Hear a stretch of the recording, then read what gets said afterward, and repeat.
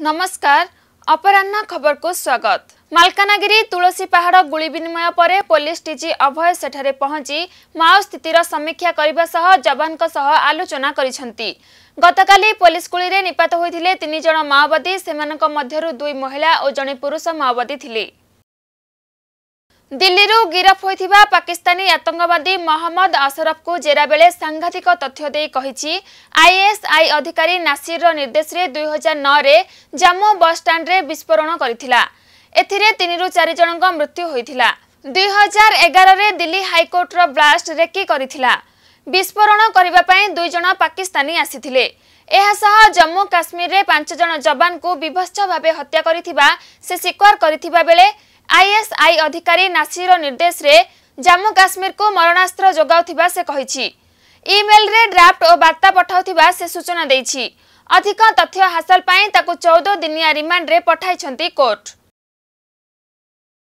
ରାଜ୍ୟରେ ଅଠର ବର୍ଷରୁ କମ୍ ପିଲାଙ୍କୁ ଟିକା ଦିଆଯିବା ନେଇ ସ୍ୱାସ୍ଥ୍ୟ ନିର୍ଦ୍ଦେଶକ ବିଜୟ ମହାପାତ୍ର କହିଛନ୍ତି କେନ୍ଦ୍ର ସରକାରଙ୍କ ମାର୍ଗଦର୍ଶିକା ଓ ଟିକା ଆସିଲେ ଟିକାକରଣ କରାଯିବ।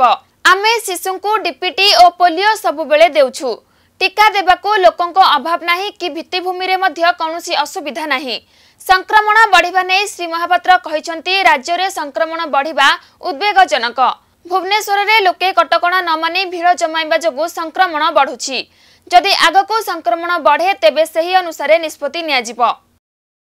ମନୀଷ ଅନୁରାଗଙ୍କ ମୃତ୍ୟୁ ମାମଲାର ଦୁଇ ସନ୍ଦିଗ୍ଧ ଲିଟୁ ଓରଫ ଦିନେଶ ମହାପାତ୍ର ଓ ମୁନା ଓରଫ ମୃତ୍ୟୁଞ୍ଜୟ ଫୁଲବାଣୀ ଟାଉନ ଥାନାରେ ଆତ୍ମସମର୍ପଣ କରିଛନ୍ତି।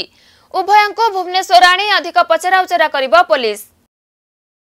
କୋଇଲା ଯୋଗାଣ ଓ ବିଦ୍ୟୁତ ଉତ୍ପାଦନ ସ୍ଥିତି ନେଇ ପ୍ରଧାନମନ୍ତ୍ରୀ ନରେନ୍ଦ୍ର ମୋଦିଙ୍କ ଅଧ୍ୟକ୍ଷତାରେ ବସିଥିବା ବୈଠକରେ ବିଦ୍ୟୁତ କେନ୍ଦ୍ରଗୁଡ଼ିକୁ କୋଇଲା ଯୋଗାଣ ବୃଦ୍ଧି ବାବଦରେ ଅଧିକ ଆଲୋଚନା ହୋଇଥିବା ଜଣାପଡ଼ିଛି। କୋଇଲା ଯୋଗାଣ ତୁରନ୍ତ ବୃଦ୍ଧି କରିବାକୁ ଉଭୟ ମନ୍ତ୍ରାଳୟକୁ ନିର୍ଦ୍ଦେଶ ଦିଆଯାଇଛି।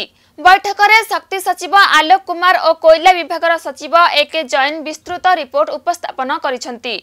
ପାୱାର ପ୍ଲାଣ୍ଟରେ ବ୍ୟବହାର ହେଉଥିବା କୋଇଲାରେ ଆମଦାନୀ ହୋଇ ଆସିଥିବା ଦଶ ପ୍ରତିଶତ କୋଇଲା ମିଶାଇବାକୁ କମ୍ପାନୀଗୁଡ଼ିକୁ ସରକାର ଅନୁମତି ପ୍ରଦାନ କରିଛନ୍ତି। ଏହାର ଦୀର୍ଘସ୍ଥାୟୀ ସମାଧାନ ଲାଗି ଖୁବ୍ ଶୀଘ୍ର କିଛି ବଳିଷ୍ଠ ପଦକ୍ଷେପ ଗ୍ରହଣ କରାଯିବା ସମ୍ଭାବନା ରହିଛି। ବିଦ୍ୟୁତ ସଙ୍କଟ ଏଡ଼ାଇବା ପାଇଁ କେନ୍ଦ୍ର ଶକ୍ତି ମନ୍ତ୍ରାଳୟ ବିଦ୍ୟୁତ ବଳକା ରାଜ୍ୟଗୁଡ଼ିକୁ ଚଢ଼ା ଦରରେ ନ ବିକିବାକୁ ନିର୍ଦ୍ଦେଶ ଦିଆଯାଇଛି।